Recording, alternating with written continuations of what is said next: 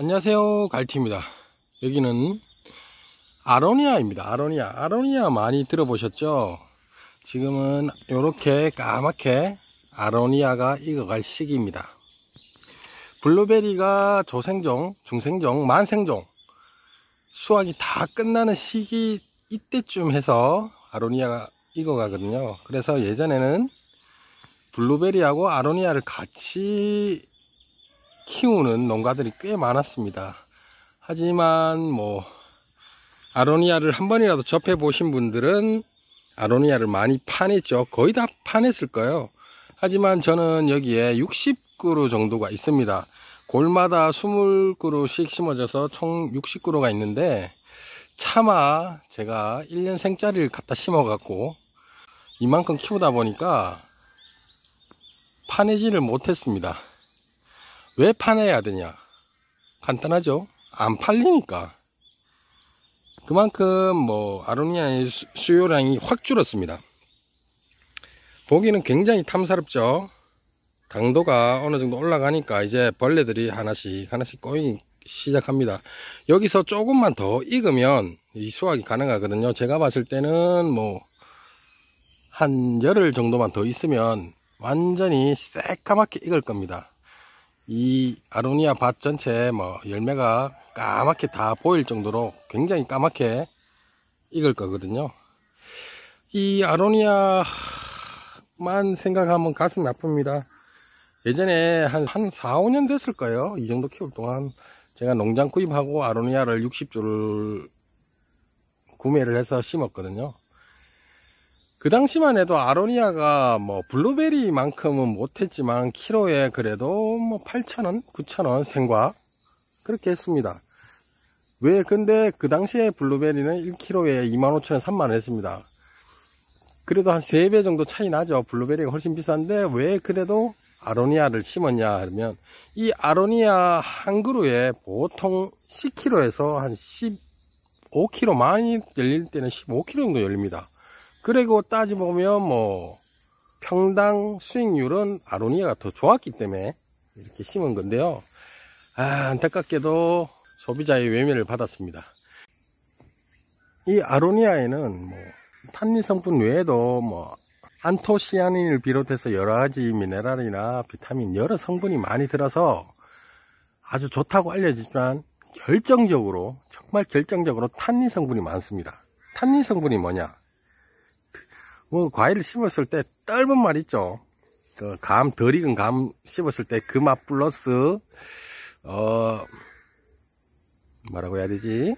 뭐 자두나 사과 뭐 덜 익었을 때 그 쓴맛이 굉장히 강합니다. 그래서 생과로 이렇게 드시는 분들은 없어요. 먹을 수가 없으니까. 하물며 제 조카가 과일은 되게 좋아하는데 블루베리든 뭐 모든 과일 덜 익은 것도 다 먹는데 유독 아로니아만 먹고 바로 뱉어버립니다. 그만큼 쓴맛이 강하거든요. 아 안타깝죠. 이 아로니아는 안토시아닌의 제왕으로 불렸습니다.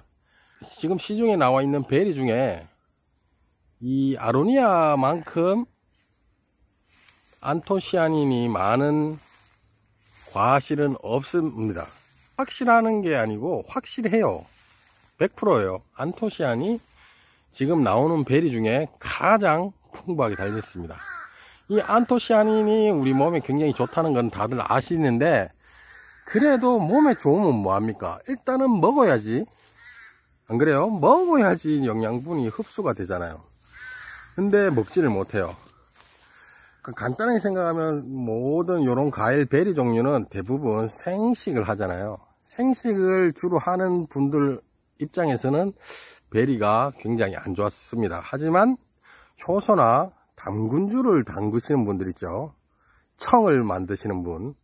이, 그분들한테는 요 아로니아 굉장히 좋아요. 그 자신에요. 매년 이렇게 안 팔린다 안 팔린다 하지만 제가 수확을 하면 거의 다 팔긴 팔아요 한 150에서 한 200kg 정도 따는데 대부분 다 소진을 합니다 그분들은 다 사가실 때 청을 담거나 효소를 담거나 당금주를 담는 분입니다 그래서 그분들한테 여쭤봤죠. 이거 안 떫어요? 못 먹겠던데? 이러니까. 이거는 생과일을 먹는 게 아니고 생과일을 먹을 때도 꿀이나 혹은 요구르트 혹은 블루베리랑 1대1 섞어서 같이 가르면 괜찮다. 좋은 안토시아닌을 왜 안 먹냐 이렇게 하시는 분도 있고 효소를 담아버리거나 창을 담아버리면 단맛이 극대화된대요. 쓴맛은 줄어들고 단맛이 극대화돼서 오히려 맛은 더 좋대요. 그리고 또 어떤 분들은 이 아로니아를 뭐 꿀하고 여러 가지 좀 첨가해서 잼을 만들어 준대요. 여기 있는 안토시아닌이 워낙 성분이 좋다 보니까 애들한테 먹이기는 좀 불편하고 그렇다 보니까 잼을 만든대요. 잼을 만들 때는 물론 뭐 단맛을 좀 가중시키겠죠. 모든 잼을 만들 때는 설탕 종류가 많이 들어가는데 아로니아도 역시 잼 만들 때 설탕이 조금 더 들어가겠죠. 그래서 그렇게 잼을 만들어서 애들 식빵에 발라주는 어머니도 계셨습니다. 그렇게 이렇게 활용을 하시는 분들은 뭐 오히려 이 아로니아가 더 좋죠. 싸고 블루베리의 3분의 1 가격 아니 4분의 1 정도 가격이니까 뭐 괜찮은 거라 봅니다. 영양 성분으로 따져봤을 때는 블루베리보다 훨씬 나아요. 낫는데 맛이 없다. 그 단점 때문에 이렇게 아로니아가 배척을 당하는데 어쨌건 저는 이렇게 뭐 60그루지만은 제가 계속 키울 생각입니다. 작년에는 뭐 어머니가 편찮에 있어서 이 농장을 운영함에 있어서 혼자는 못 운영해요. 제 농장이 한 800평 정도 되는데 예전에 어머니가 건강하실 때는 제가 어머니랑 둘이 퇴근하고 같이 와서 좀 풀도 매고 관리도 좀 했는데 어머니가 편찮으시다 보니까 혼자 관리가 안 돼요. 원래 아로니아를 이렇게 키우면 안 돼요, 여러분. 딱 모든 과실나무는 내 키에서 가지가 옆으로 뻗어지게 만들어야 되는데 제가 가지치기를 못했습니다. 그래서 너무너무 큽니다. 올해는 이렇게 수확을 하면서 요만큼 요만큼 다 잘라버릴 겁니다. 다 빨리 수확을 하고 바로 자르면 새 가지가 날 거고 그 세 가지에서 내년에 또 아로니아가 열리니까요. 최대한 수고를 낮춰버릴 겁니다. 그래서 수확도 편하고 관리도 편하니까요. 어쨌든 요렇게 키우시면 안 됩니다, 여러분. 아로니아는 요렇게 키우시면 안 돼요. 그리고 뭐 아로니아의 가장 큰 장점 초기 비용도 싸고요. 그리고 관리 측면에서는 뭐 할 게 없어요. 약을 안 칩니다. 비료 안 줍니다. 퇴비 안 줍니다. 그대로 놔둡니다. 물론 이렇게 아로니아를 처음에 밭을 만들 때 미끄럼하고 많이 들어갔는데 그 이후로는 크게 준 적이 없어요. 약을 준 적은 전혀 없고요. 초창기에 과실나무에 가축분 탭이 줄때 그때 조금 한두 번 줬을 뿐이지 지금까지 뭐 몇 번 준 적이 없어요. 그러니까 관리 측면에서 편하고 수확량도 많고 좋아요. 근데 가정에서 아로니아를 키우시는 분 다섯 그루 이상 키우지 마세요. 제가 좀 전에 말씀드렸듯이 한 나무에 10kg에서 한 15kg 많게는 20kg까지 달리는 나무가 있습니다. 그러니까 저처럼 막 50그루 60그루 이래 심으면 절대 안 돼요 아시겠죠? 가정에서 효소나 청 담을 만큼 한 다섯 그루 정도 심으면 충분한 양이 나옵니다. 아, 네. 오늘은 이렇게 지나가다가 아로니아를 보니까 가슴이 아파서, 정말 가슴이 아파서 영상을 찍습니다. 여러분들, 아로니아, 몸에 좋아요.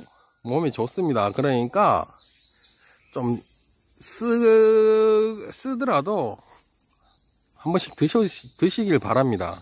안토시아닌 특히 연세가 드신 분들 눈에 굉장히 좋아요.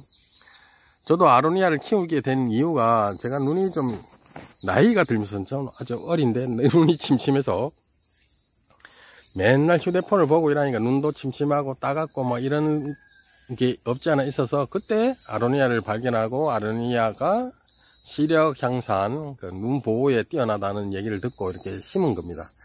그러니까 뭐 연세 드신 분 그리고 뭐 TV나 뭐 휴대폰을 많이 보시는 분들은 이렇게 청이나 효소를 담아서 좀 드시는 것도 괜찮을 것 같습니다.